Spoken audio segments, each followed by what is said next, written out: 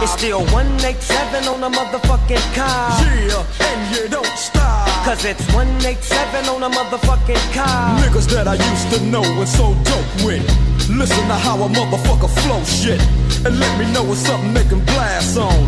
Thinking about the homies that passed on.